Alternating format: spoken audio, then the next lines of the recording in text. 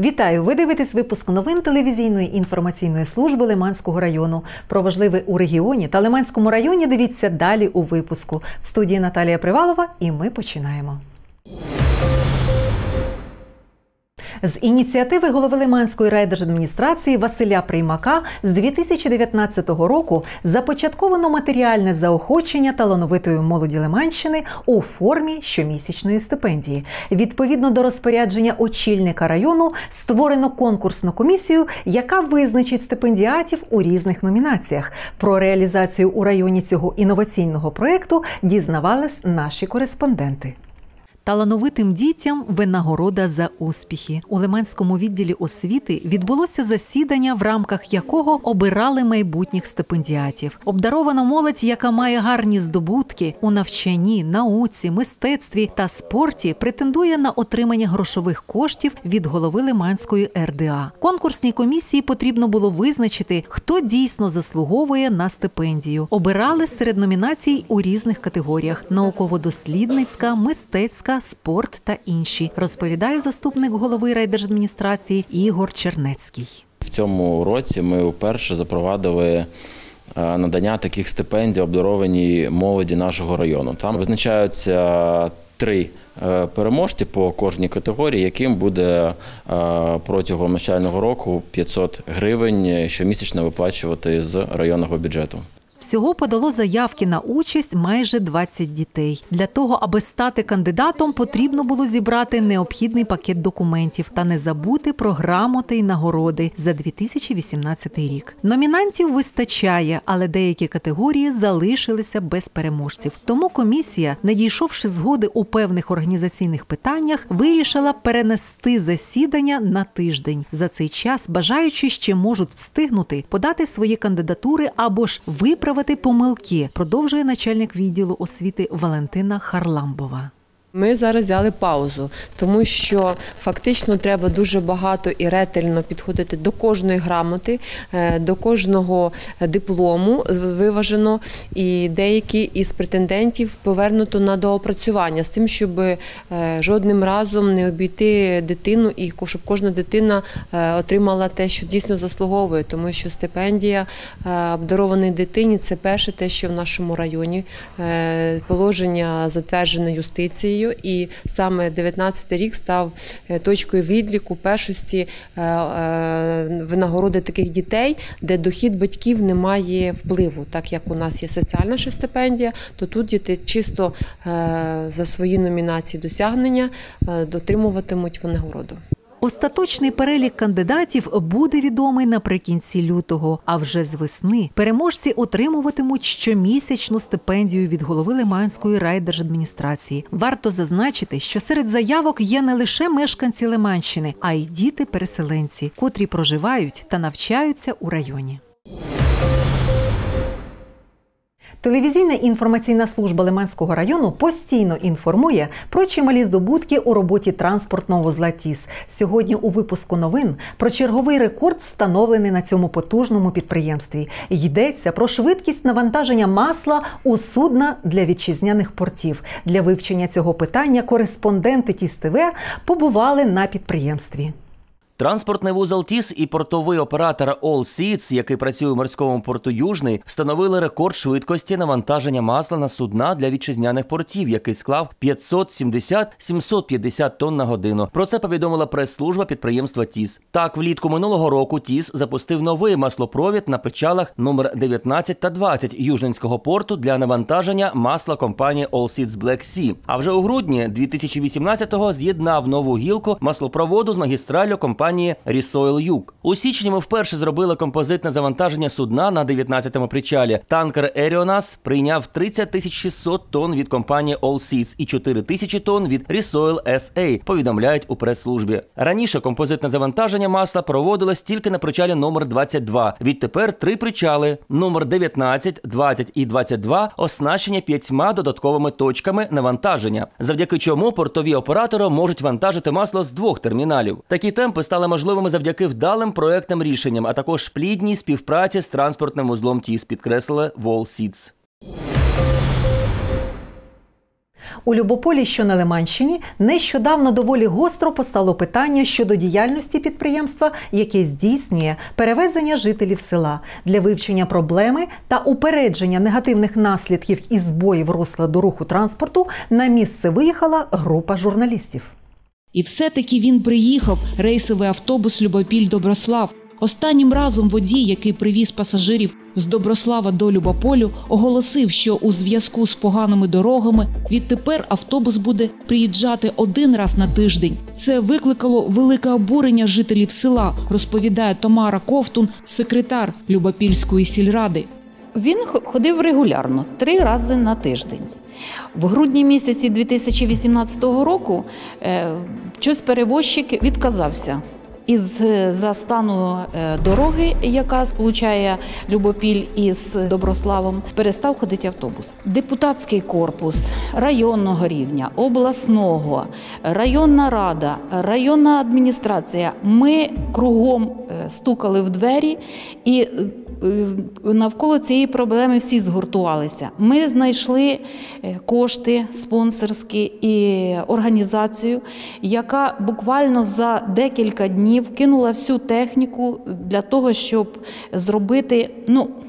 Проїжджою часть, частину цієї дороги.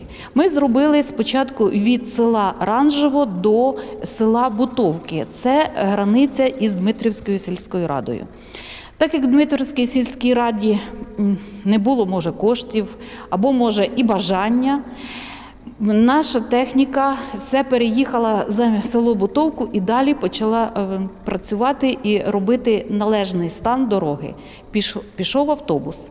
Там з кілометр залишилося ще робити, але вже і настали ем, погодні умови, роботи е, були припинені. Ходив автобус у січні місяці.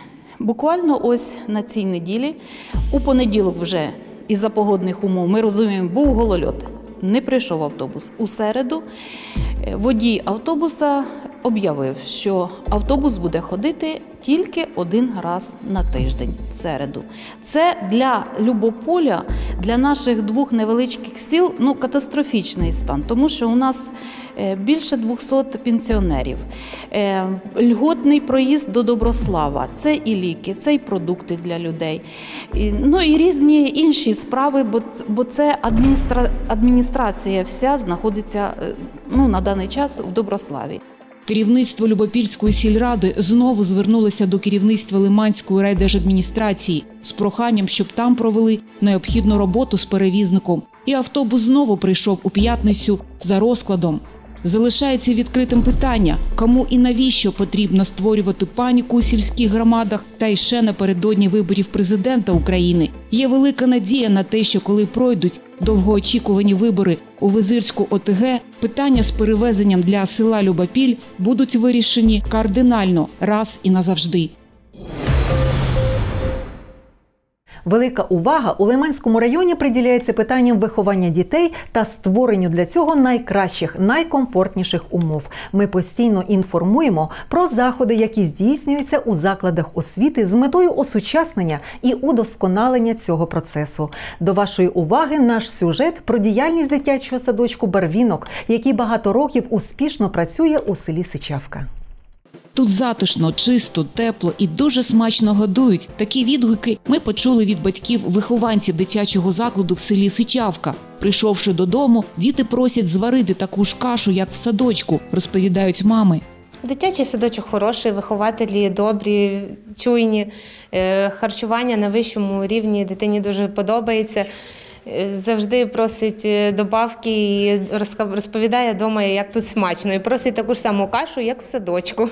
Сама завідуюча дитячим садком Барвінок Галіна Янішина вважає, що її співробітники Наталія Бас і Ніна Манжиєвська природжені кухарі. Ці кухарі вже працюють більше 15 років.